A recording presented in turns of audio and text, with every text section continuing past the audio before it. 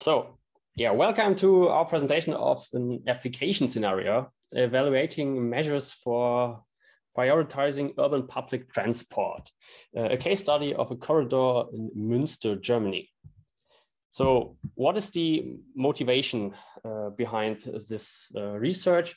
Um, meeting climate targets can only be achieved through comprehensive uh, reduction and rethinking of our transport.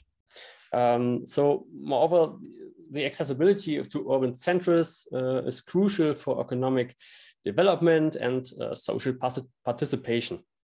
Uh, so the strengthening of public transport and expanding the uh, transport access to connect the more rural regions uh, of the outer city districts uh, is crucial. Um, public transport can play a decisive role um, in achieving the reduction of emissions by reducing the land uh, use uh, due to the concentration of transport, as we can see here on this slide, um, and um, increasing the transport capacity. Um, public transport uh, contributes to less congestions, less pollution, uh, also reduce noise, and, for example, better air quality. Um, but to achieve this, the number of people transported uh, must be increased. The quality, enhanced accessibility and real reliability uh, should also be improved. But in order to implement a sustainable and interactive service, um, public transport must be uh, competitive. However, due to the orientation or the long-term orientation of our networks, transport networks, towards the needs of the private transport, uh, buses have to wait uh, at traffic lights because the green waves often implemented in cities uh, are not compatible with waiting times at bus stops, for example.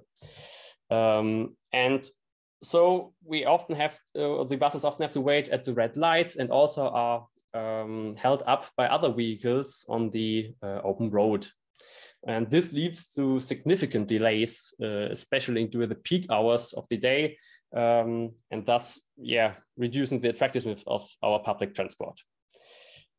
So our study uh, area was located uh, on the Weseler Straße in Münster uh, with buses of line X90 and S90 uh, using this route.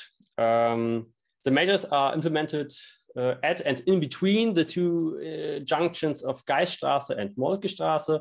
Um, and in order to investigate the impact, a local 700 meter influence area is defined in addition to a network-wide consideration. So let's take a brief look at the initial situation. Um, here you can see some um, GPS recordings or some GPS traces of real buses traveling this route. Um, they start at uh, at the highway exit um, and uh, drive into the city center. And we can see that most of the delays uh, occur at the uh, traffic lights, but also some are uh, on the open road, especially in the morning peak hours. Um, so to reduce these delays, there can be several concepts applied. Um, for example, the uh, temporal measures such as traffic light prioritization um, with designs such as green time modification, special phases, or a gatekeeper system, um, which is meant to keep an entire street section free of any vehicles. But also uh, spatial measures such as bus lanes in various designs, uh, for example, permanent or dynamic and intermittent, and directional and non-directional, um, so driving in the opposite direction. But there are also some mixed forms that combine the temporal and the spatial measures. Um, these are hybrid forms, for example, uh, bus gates in front of traffic lights. So uh, as a methodology, we used uh, Sumo to implement or to um, research our measures. Um, and therefore, we built a base case. For the network, we used an OpenDRIVE model that was exported from a program called Roadrunner. Um, and the uh, traffic demand uh, was collected by uh, detector loops that are placed at the traffic lights for each traffic flow. Um, the initial routes were then obtained using random trips or the random trip script um, and an adjusted weighted source and destination matrix um, to improve the initial routes. Um, the final demand, traffic demand, was then sampled with the route sampler algorithm uh, or the route sampler tool. Um, simulation parameters were obtained using uh, video evaluation um, of some video recordings on the site or at the uh, research area. Uh, afterwards, we calibrated the base uh, model um, using the um, using number of routes, uh, the uh, actual demand uh, determined by the recordings so that we uh, could measure uh, evaluating the video recordings and also the real bus travel time um, through the GPS recordings. Um, and you can see here a good comparison between the real world data and the calibrated um, bus travel times. Um, and you can see that there's a pretty good visual match um, with many waiting times uh, at um, the traffic lights. And also in some cases, as in the real world, uh, we have some delays in the approach to the second junction. So uh, a total of 13 scenarios were examined. Um, I will present three of these that are the most interesting ones. Um, and all measures were implemented with uh, TraCI using Python. Um, the first measure is a dynamic gatekeeper system. Um, so if the bus is approaching the bottleneck, which is uh, between the two junctions uh, on, on, this section of the street, um, we, the, the system becomes active and we check for the length of the uh, congestion. So if there are any congestions in this area, um, the bus can't use this route um, because the bus is uh, turning right here. Um, and uh, yeah, because of congestion in this area, um, the uh, area is blocked. Um, so depending on the result, different scenarios are active, uh, activated. However, uh, the inflows are always blocked before the bus arrives. So the personal um, transport lanes are blocked and only the bus lane uh, gets a clearance. Um, and the outflows uh, are uh, get a green signal uh, to clear the area in between.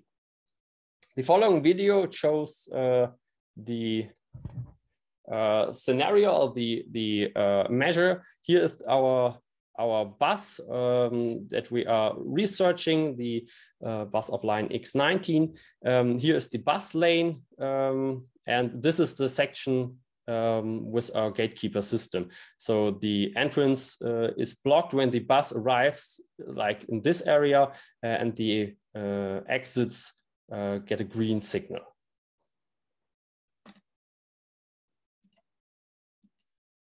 Okay, we can't uh, use the media. That's uh, unfortunately, but um, yeah, well, then we then my talking has to yeah do it.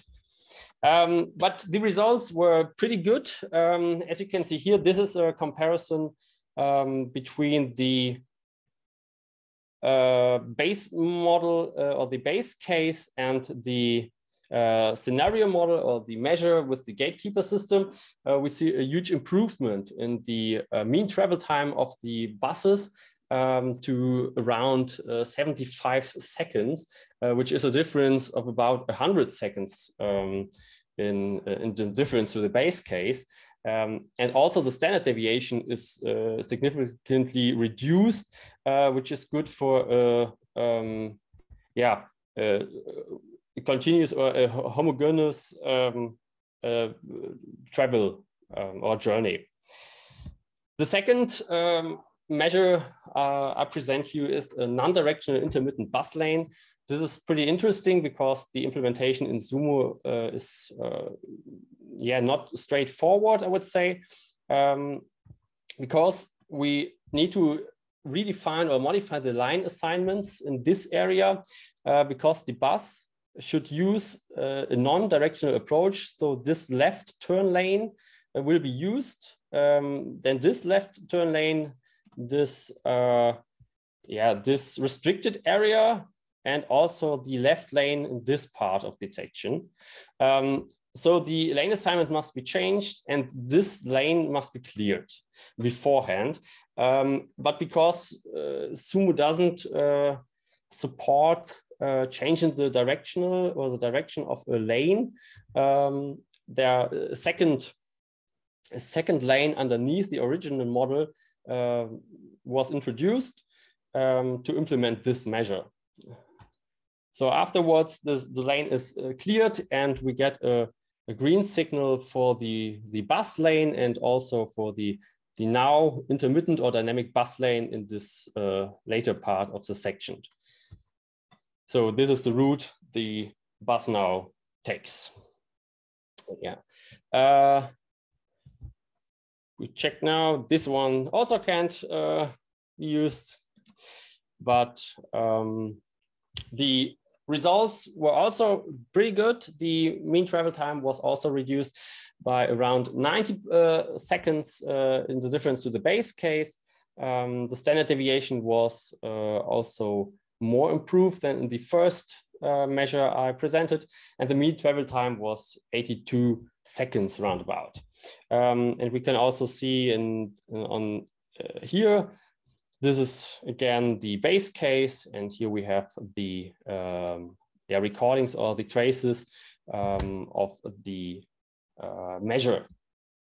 And we uh, almost have no uh, delays uh, on, on both um, traffic lights or in the approach to both traffic lights, uh, just some uh, delays that are due to um, yeah, some waiting time when other buses uh, need to stop at the bus stop in front of the traffic light. The last measure I want to present is an intermittent bus lane uh, plus a special phase. This is a combination of uh, temporal and uh, spatial measure.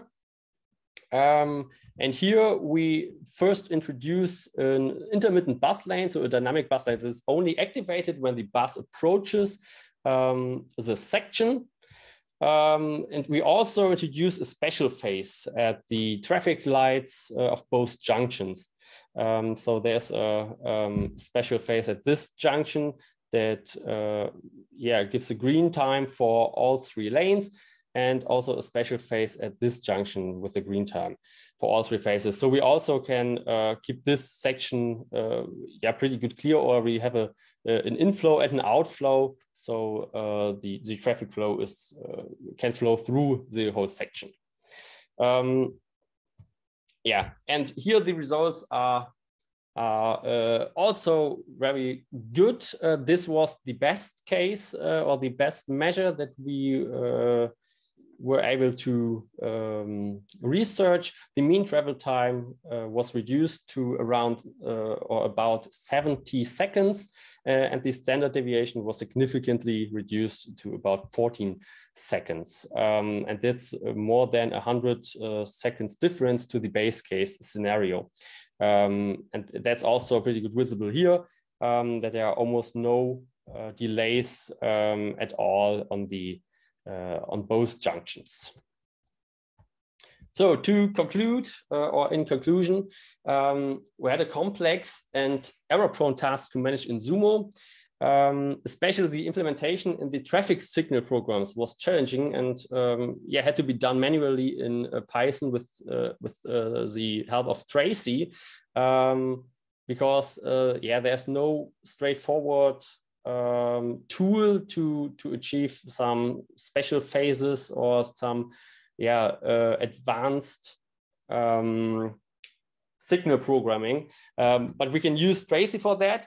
Um, but we also, because of some um, simulation errors uh, or some minor errors, we used not only one model, but uh, sometimes we used more than one model to research different measures.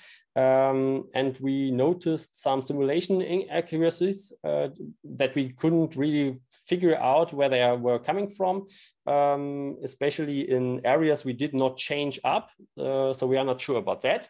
But overall, uh, we could uh, fantastically use the SUMO tool to yeah, to measure and to evaluate a, reduction of the bus travel time by up to 59% uh, um, to around 70 seconds um, and uh, decrease the standard deviation uh, and thus increasing the re reliability of the whole, whole bus line. Um, so yeah, what is to do now? Further research. Um, we need more accurate input data. Um, so this was just uh, a first um, approach to this uh, problem. Um, and the um, loop data from the uh, detector loops in front of the traffic lights were not as accurate as we hoped. Um, so there should, should uh, we research some more accurate input data. Um, and also because it's a very important public transport route and the whole section, there are um, more than 10 different bus lines um, using this section, but we only researched one um, bus line. Uh, and so the extension to all public transport must be researched. Um, and also an, an, expansion to the opposite direction, because we only research in this um, study the um, direction into the city center. and also for an, a case study, uh, in the yeah transfer to reality must be researched. Uh, so the implementability uh, is here an important factor. So yeah, I'm uh, sorry that the videos did not load, but uh, I hope it was uh, yeah you could understand and follow the presentation. Thank you for listening, and yeah, we welcome any feedback and any questions. Thank you.